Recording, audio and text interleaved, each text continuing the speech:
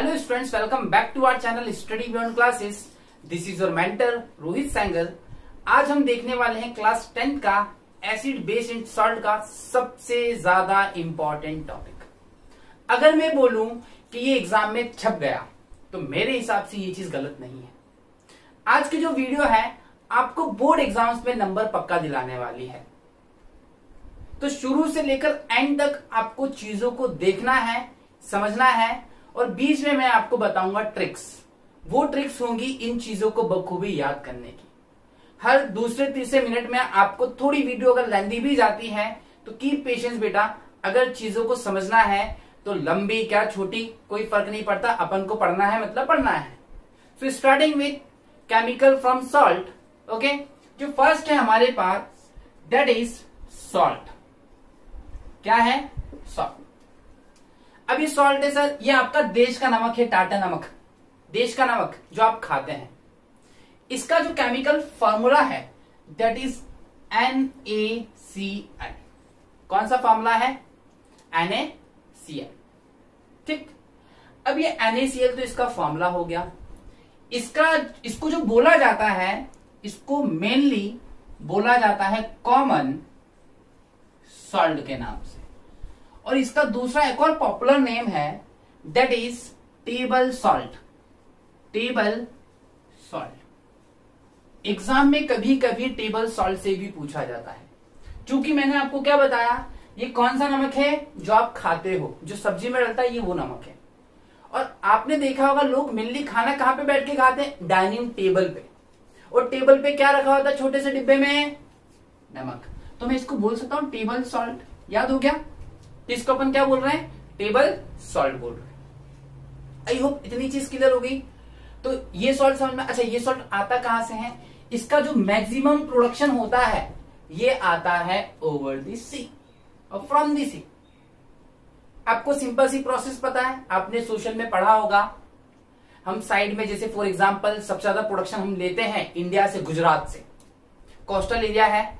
हम क्या करते हैं? वहाँ पे बैरिकेड्स लगा देते छोटे छोटे वेव्स आएँगी, पानी भरेगा, वो पानी इवोपरेशन से उड़ जाएगा what remains salt that is a natural salt आप ऐसे भी सॉल्ट को बना सकते हैं। कौन सी रिएक्शन थी? न्यूट्रलाइजेशन रिएक्शन याद करिए। आपने एसिड की रिएक्शन कराई थी पेस्ट के साथ तो आपको सॉल्ट मिला था और पानी को आप इवोपरेट करा दीजिए। ठीक? और कुछ सॉल्ट आपको कहाँ से मिल जाते हैं? फ्रॉम दी रॉक इनको कहते हैं मिनरल सॉल्ट इसलिए मिनरल कहलाता है। तो रॉक से भी मिलते हैं। ये भी देखा होगा आपने। एक ब्राउन कलर का नमक आता है आपका। कौन सा सॉल्ट है? रॉक सॉल्ट अयो इतनी चीज़ समझ में आई? अच्छा इसका यूज़ बोलिए यूज़ करने की करवाऊ क्या यूज़ बेटा अंडरस्टूड है यूज़ खाने में यूज़ हो रहा है। चीज़ों को बनाने में यूज़ हो रहा है। केमिकल रिएक्शंस में यूज़ हो रहा है। समझ रहे हैं आप?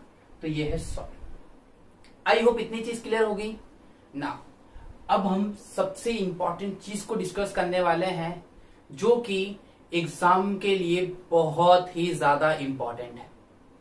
इट्स माई पर्सनल रिक्वेस्ट अगर आप अभी कहीं जाने का विचार कर रहे हैं तो इस वीडियो को देख के जाइएगा क्योंकि यहाँ से क्वेश्चन आ सकता है। Now we have second compound and the most question आ सकता है। That is sodium hydroxide sodium hydroxide. अच्छा इसका केमिकल फॉर्मूला क्या है? केमिकल फॉर्मूला है H it's a strong base chemical formula है एनओएच और इसका, देखिए, दो चीज़ें एग्ज़ाम में पूछता है। या तो पूछता है chemical name this is a chemical name and this is chemical formula और एक पूछता है कॉमन नेम कॉमन नेम मतलब क्या? जिससे हम लोग जानते हैं। आप लोग जानते हैं। आप लोगों ने सुना होगा कास्टिक सोडा इसको कास्टिक सोडा भी कहा जाता है। कॉमन नेम क्या हो गया? कास्टिक सोडा और केमिकल नेम क्या हो गया? सोडियम हाइड्रोक्साइड इतनी चीज़ समझ में फॉर्मूला क्या हो गया? एन ए ओ एच ना, सबसे इंपॉर्टेंट चीज़ बनता कैसा है? हम बात करेंगे मैथड कि किस मेथड से बनता है? ये जिस मेथड से बनता है उस मेथड को कहते हैं हम क्लोर एल्कली प्रोसेस। क्या कहते हैं? Chlor alkali process. ये रिएक्शन बेटा बहुत ही ज़्यादा इंपॉर्टेंट है। हद से ज़्यादा इंपॉर्टेंट है। क्लोर मतलब क्या? देखिए, पहले नाम को समझते हैं, फिर हम रिएक्शन को करेंगे। क्लोर मतलब हो गया क्लोरीन एल्कली आप सब समझते हैं एल्करी किसको कहते हैं हम? बेस को और प्रोसेस मतलब होती मैथड भाई एक ऐसी मैथड जिसमें क्लोरीन और बेस बने। और भाई ये एनओएच क्या है? बेस तो है। इसलिए इस मेथड को कहते हैं क्लोर एल्कली प्रोसेस अब देखिएगा, हम करते क्या है? हम इस रिएक्शन में करते क्या है? हम लेते हैं एनएसीएल ठीक? इस एनएसीएल की रिएक्शन करा देते हैं हम पानी के साथ। किसके साथ रिएक्शन करा देते हैं? पानी के साथ। ये बना देता है two N A O H plus chlorine plus hydrogen gas. और इस रिएक्शन में हम यूज़ करते हैं सबसे इंपॉर्टेंट चीज़ दैट इज़ इलेक्ट्रिसिटी भाई, आपने फ़र्स्ट चैप्टर में पढ़ रखा है। Reaction chemical reaction which is carried out with the help of electricity is called electrolysis भाई इलेक्ट्रोलाइसिस कहते हैं उसको? तो इलेक्ट्रोलाइसिस कराएँगे हम। तो मैंने क्या यूज़ कर ली यहाँ पे?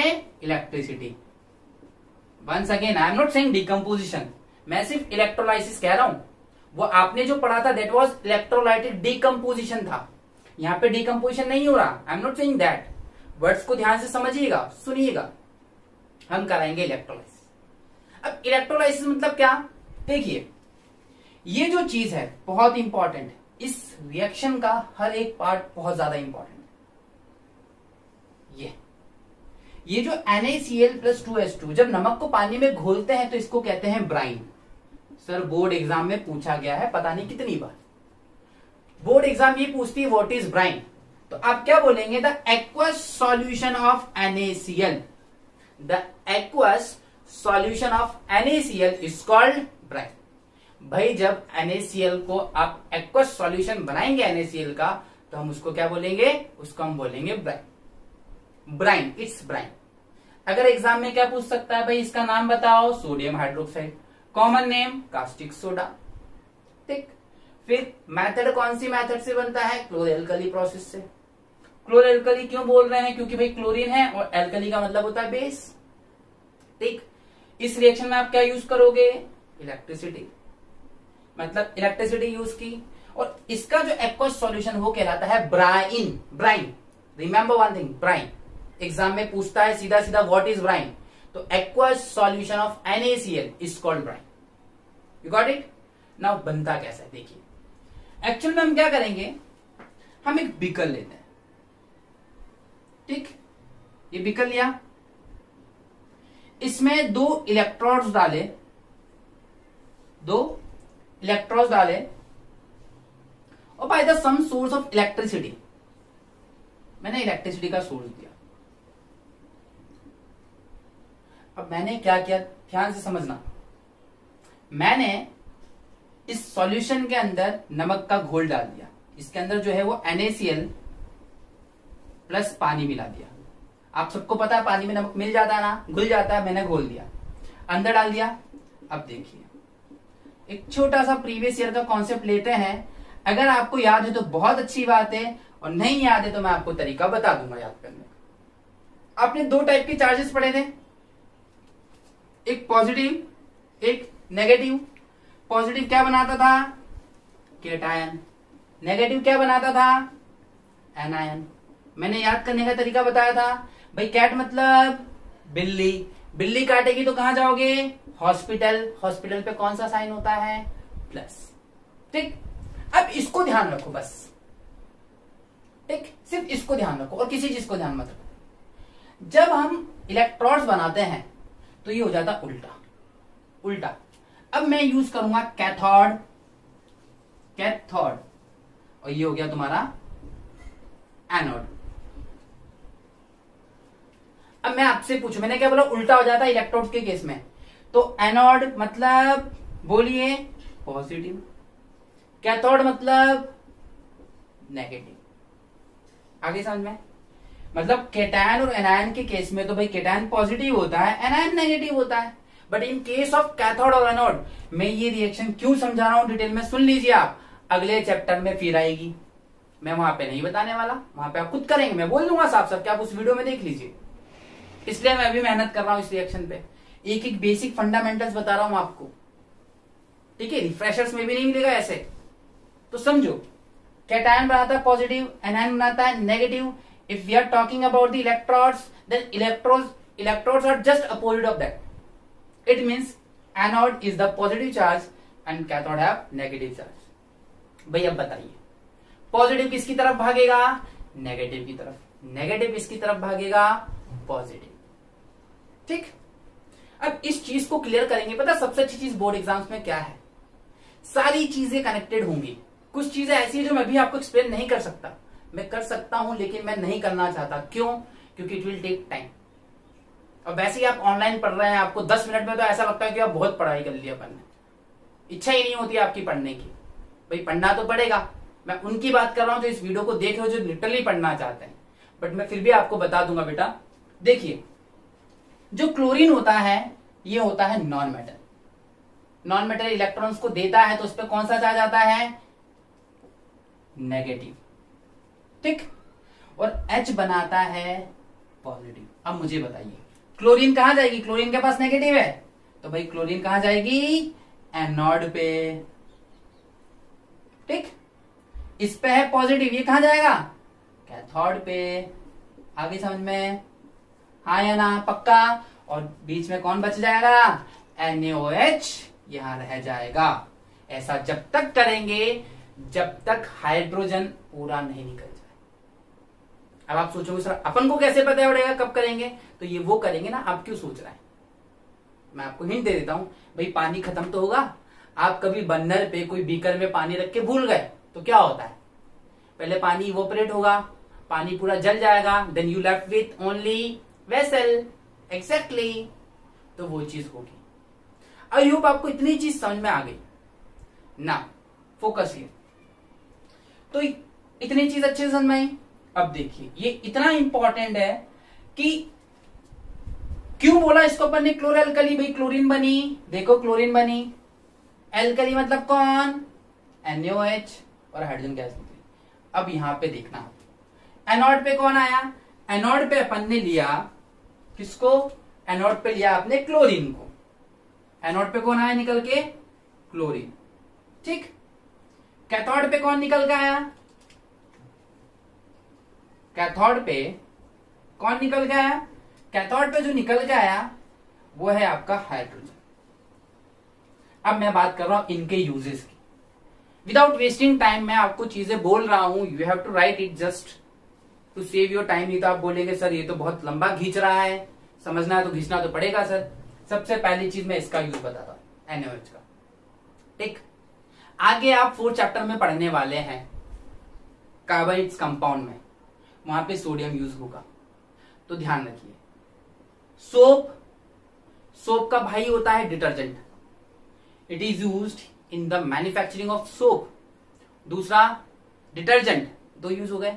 तीसरा भाई सोप और डिटर्जेंट को पैक भी तो करोगे, और पैकिंग हमेशा ध्यान रखना प्लास्टिक में पैक नहीं करते हैं। आजकल पेपर के बैग्स आ रहे हैं। Paper it is use in paper industries ठीक? It is use in the manufacturing of soap and detergents और अलग अलग लिखिए, भाई you have to make the points detergent और सोप अलग अलग है, भले दोनों भाई हैं तो क्या हुआ? जुड़वा थोड़ी है। जुड़वा होते तो आप डिटर्जेंट से भी नहा सकते थे, और सोप से कपड़े धो सकते थे। मैं नहाने वाले सोप की बात कर रहा हूँ कपड़े धोने वाले सोप की बात नहीं कर रहा। तो इतनी चीज़ समझ में और डिग्रीजिंग ऑफ़ मेटल के लिए भी काम आता है डिग्रीजिंग ऑफ़ मेटल तो ये दो, तीन चार यूज़ बता दिए मैंने। अब बात करते हैं सर क्लोरीन की। क्लोरीन की। सबसे पहले क्लोरीन की बात करें।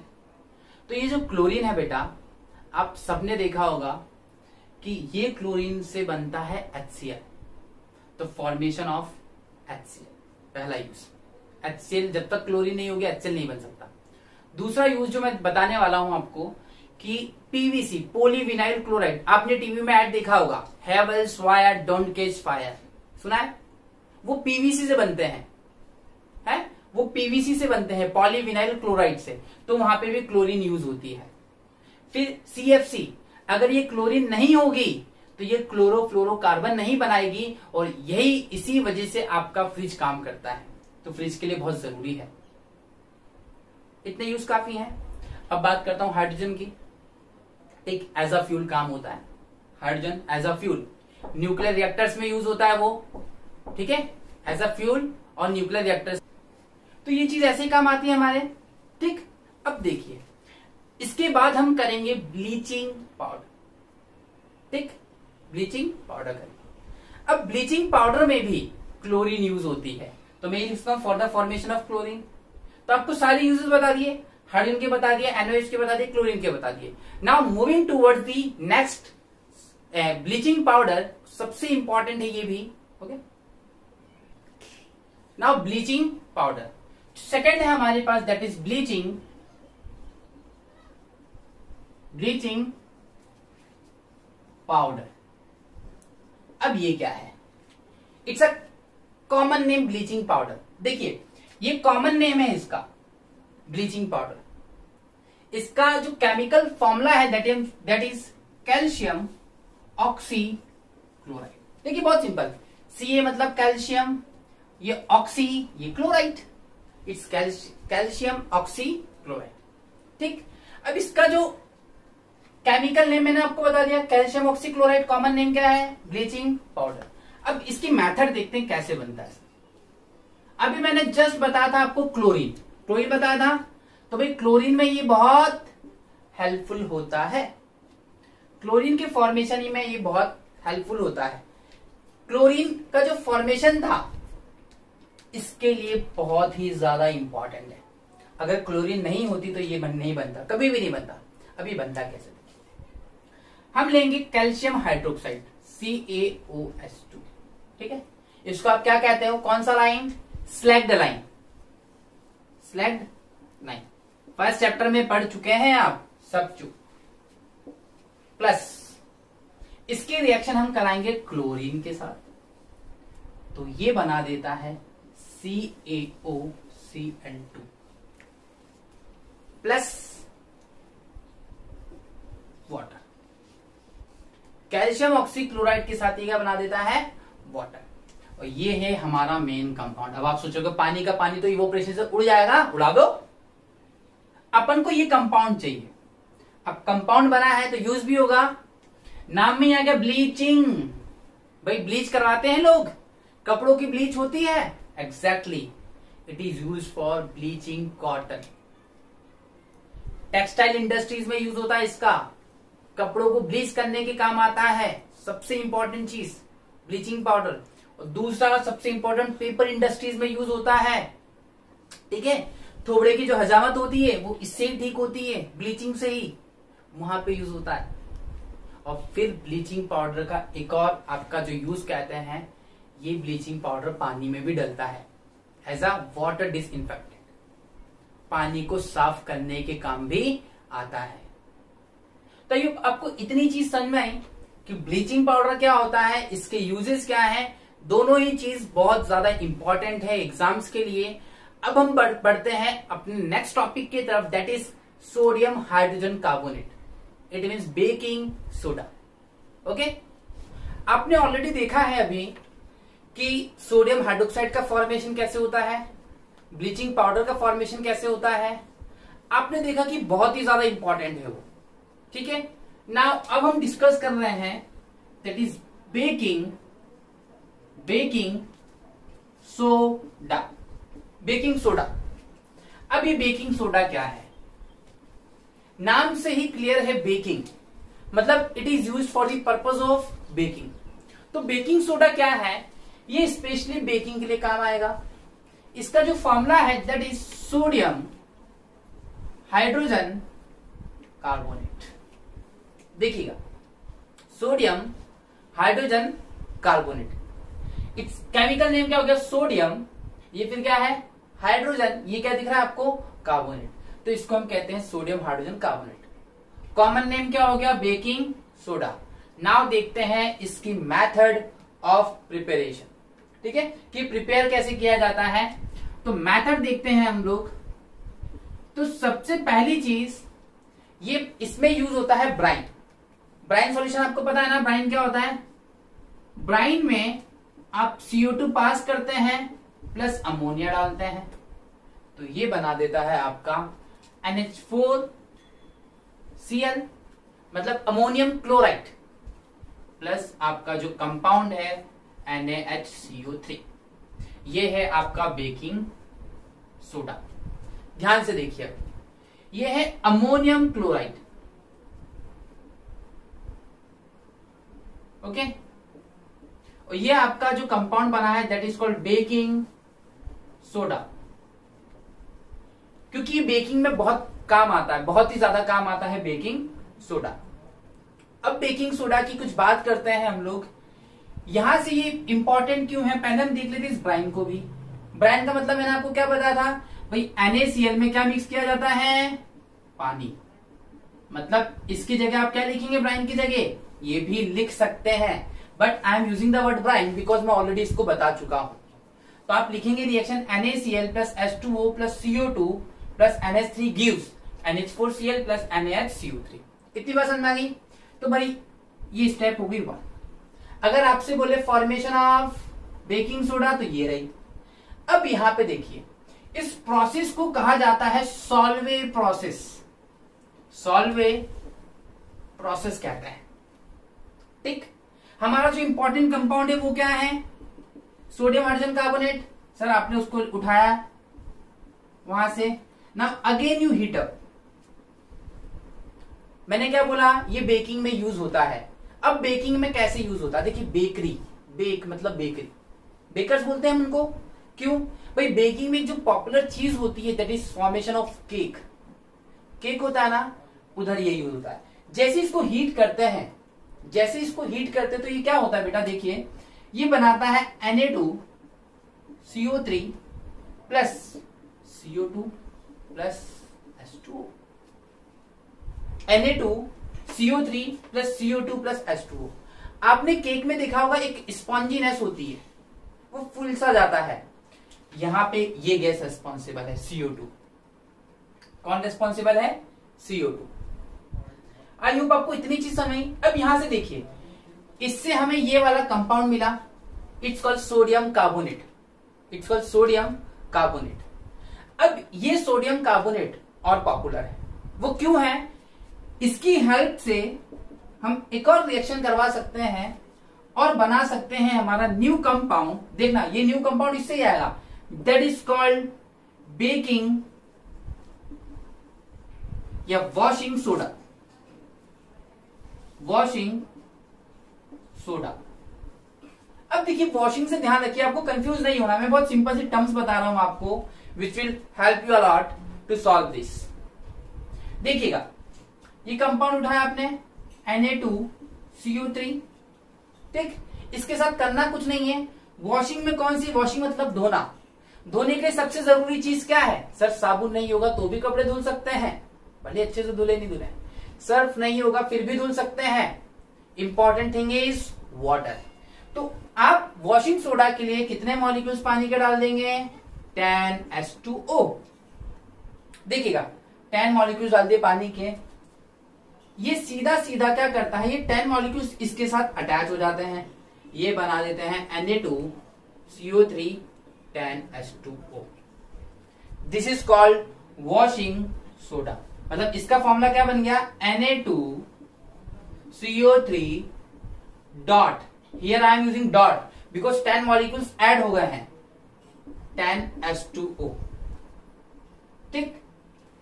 तो वॉशिंग सोडा का फॉर्मूला क्या है? पानी से याद रखिए, पानी के मॉलिक्यूल्स इसमें ज़्यादा हैं। So what you have to write sodium carbonate ten dot S two इतनी बात समझ में आ गई? अब देखिए। इसका chemical name sodium carbonate. Ten से डेका हाइड्रेट ठीक है? सोडियम कार्बोनेट डेका हाइड्रेट मतलब डेका मीन्स टेन। तो यहाँ पे ये कंपाउंड बहुत ही ज़्यादा इंपॉर्टेंट है। इसकी बात करें तो बेकरी में यूज़ हो रहा है बेकिंग में यूज़ हो रहा है। और अगर नोटिस करें आप तो इसकी हेल्प से कौन बन रहा है? वॉशिंग सोडा तो भाई, आप ये भी देख सकते हैं it is use for the preparation of washing soda it is use in kitchen bakeries होगा यूज़ वॉशिंग सोडा का यूज़ बोलिए जल्दी, काम वॉशिंग है मतलब कपड़े धोने के काम आएगा, और हर इंडस्ट्रीज़ में काम है धोने का तो ये वहाँ यूज़ होता है. कॉटन इंडस्ट्रीज़ में यूज़ होता है टेक्सटाइल इंडस्ट्रीज़ में होता है पेपर इंडस्ट्रीज़ में यूज़ होता है, और सबसे इंपॉर्टेंट इसका जो यूज़ है that is removing the hardening of water ये हार्ड वाटर की हार्डनेस को रिमूव करता है। अभी हार्ड वाटर क्या होता है? मैं एक छोटा सा बस, एक छोटा सा कॉन्सेप्ट बता देता हूँ। हार्ड वाटर वो होता है जिसके अंदर मैग्नीशियम और कैल्शियम के आयंस होते हैं। अगर मैं सिंपल सी लैंग्वेज में बोलूँ तो हार्ड वाटर क्या है? हार्ड वाटर नाले का पानी है। गंदा पानी हार्ड वाटर है। ठीक? हम इसको नेक्स्ट चैप्टर में पढ़ेंगे। कार्बोइंस कंपाउंड में हम देखेंगे उसको। So don't worry about that ऐसी ऐसी टर्म्स आएँगी जो बिल्कुल आपके लिए नहीं होंगी बट करना क्या you have to keep patience क्योंकि होगा क्या उस कॉन्सेप्ट का लेना देना उससे कुछ है नहीं बस वो टर्म आ गई। तो आप समझ लीजिए उसको अपन नेक्स्ट टाइम देख लेंगे कोई इश्यू नहीं है। लेकिन डिटेल में होगा। हाँ बोर्ड एग्ज़ाम में जब आप बैठने जाएँगे तो आपको एक परसेंट कॉन्सेप्ट भी नहीं कंफ्यूजन नहीं रहेगा इसकी गारंटी मेरी है। सो so, ये समझ में आया? बहुत ही इंपॉर्टेंट बेटा। एग्ज़ाम में ये आता है सीधा सीधा अगर आपसे बोले ये बनाओ तो भाई ये दोनों ज़रूरी है। अगर आपसे बोले कि इसका फॉर्मेशन बताओ सोडियम कार्बोनेट का तो ये भी ज़रूरी है। और अगर आपसे ये बोले, फिर तो बात ही खत्म। ठीक? फिर तो बात ही खत्म। तो यहाँ पे आपको इतनी चीज़ समझ में आ गई, अच्छे से। कोई कंफ्यूजन तो है नहीं। अब मैं बात करता हूँ सबसे इंपॉर्टेंट जो लास्ट कंपाउंड हमारे पास बचता है that is POP plaster of Paris अभी आपने सारी कंपाउंड्स को देखा हम देख रहे हैं लास्ट कंपाउंड अब जो यहाँ पे वर्ड्स का मीनिंग है ना कंपाउंड के जो नाम है वो बहुत ही कॉमन है। ठीक? आपको करना कुछ नहीं है आपको ध्यान से चीज़ों को समझना। रटना मत। रटोगे भूल जाओगे। समझोगे एग्ज़ाम तक उसको लेके जाओगे। सो so, हमारे पास अब जो है दैट इज़ फिफ्थ क्योंकि ऑलमोस्ट हम कवर कर चुके हैं। अब मैं बात कर रहा हूँ पीओपी की। This stand for plaster of Paris इसको हम बोलते हैं plaster of Paris. Plaster of Paris. Okay? ये पीओपी है। अब इस पीओपी का जो फॉर्मूला बनता है, वो फॉर्मूला बनता है C A S O four dot half H two O this is the formula for POP अब मैं इसका फॉर्मेशन देखता हूँ। मैं चीज़ें आपको समझाऊँगा, आपको अच्छे से समझना है। ओके? पहले तो इसका कॉमन नेम क्या हो गया? कॉमन नेम हो गया प्लास्टर ऑफ़ पेरिस इसको इसी नाम से जाना जाता है इंडिया में। और केमिकल नेम देखिए कैल्शियम सल्फेट हाफ़ जिस सर्कल का आधा सर्कल क्या कहलाता है? हैमी ये क्या है? हैमी और इसको क्या कहते हैं? हाइड्रेटेड तो कैल्शियम सल्फेट हैमी हाइड्रेटेड इसलिए इसको हैमी बोलते हैं। ठीक है? हैमी, हेमिस्फेयर थ्री याद करिए आप। हेमिस्फेयर बोलते हैं, आधे को दैट्स इट तो हैमी का मतलब हाफ़ से है। तो don't worry about that particular word it's hemi stand for half molecule of water अब इसका फॉर्मेशन हम देखते हैं। मैं जिप्सम का फॉर्मेशन कराऊँगा, इसको कन्वर्स करके अपन पीओपी फॉर्म कर देंगे। ठीक है? नाउ सी मैं देख रहा हूँ कैल्शियम सल्फेट, देखिए।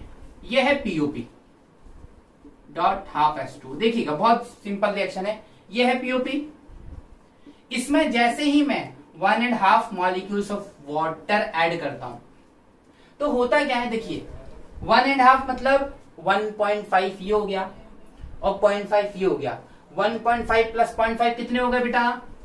ये बना देता है C S O four dot two H two भाई डेढ़ प्लस आधा इक्वल्स टू दो तो मैंने दो। इसको हम बोलते हैं जिप्सम क्या बोलते हैं?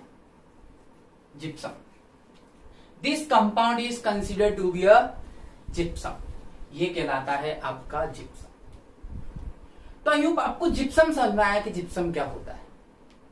आपको समझ में आया कैल्शियम सल्फेट हेमीहाइड्रेटेड क्या होता है? अगर आपसे कोई बोले, भाई इसका फॉर्मेशन बताओ तो इस रिएक्शन को क्या कर दो? उल्टी। ये देखिए, ये जिप्सम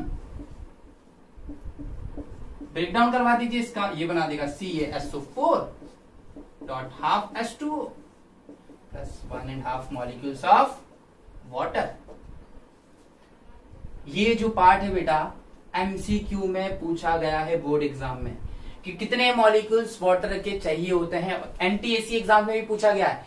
तो वन एंड हाफ़ तो वन एंड हाफ़ को फ्रैक्शन में करिए solve to one jar two it's three by two and three by two is nothing but one point five भाई, ये बोलो ये बोलो, चाहे ये बोलो, सब सेम है. तो ऑप्शन में आंसर जो था that was three by two ना तो वन पॉइंट फाइव दिया था, ना तो ये दिया ठीक है? वहाँ पे ऑप्शन था half two three one by two three by two समझ रहे हैं? बच्चे कंफ्यूज क्योंकि भाई देखो ना वन बाय टू यहाँ था. अब उसी को याद होगा जिसको रिएक्शन बाय मतलब बाय हार्ट याद है। नींद में उठा के पूछ भाई, क्या? हाँ ये होता है जिप्सम ये होता है पीओपी वो बता सकता है इजीली तो ये है आपका कौन? ये है आपका प्लास्टर ऑफ़ पेरिस ये तो खैर जिप्सम है, इससे बनता है प्लास्टर ऑफ़ पेरिस ठीक? अब ये प्लास्टर ऑफ़ पेरिस नाम में ही याद करिए प्लास्टर जो आपका जब फ्रैक्चर होता है बोन्स वगैरह तो जो प्लास्टर चढ़ता है, वो यही प्लास्टर है। ठीक है? सीमेंट में अक्सर मिक्स किया जाता है gypsum to make it more hard आपने देखा होगा जब आरसीसी की रोड बनती है तो सीमेंट यूज़ होती है उधर तो उधर इसका मिक्सचर करवाया जाता है। अब आपने ये भी नोटिस किया होगा कि उस रोड को बनने के बाद खूब पानी पिलाया जाता है। पानी क्यों पिलाया जाता है देख रहे हैं आप? जितना ज़्यादा पानी मिला पिलाओगे आप उसको, उसकी हार्डनेस और बढ़ेगी। उसको कंटिन्यूस गीला रखता है। आपने देखा होगा बोरी वगैरह से भी उसको ढक के रखते हैं। कंटिन्यूस पानी दिया जाता है। इसीलिए। तो ये चीज़ें होती है। तो इसका यूज़ क्या है? भाई प्लास्टर ऑफ़ पेरिस का यूज़ क्या है? पहला यूज़ तो कहाँ पे है? It is use for setting up of fractures it is use for setting up of fractures दूसरा यूज़ क्या है? स्टैचूज होते हैं। बिल्कुल।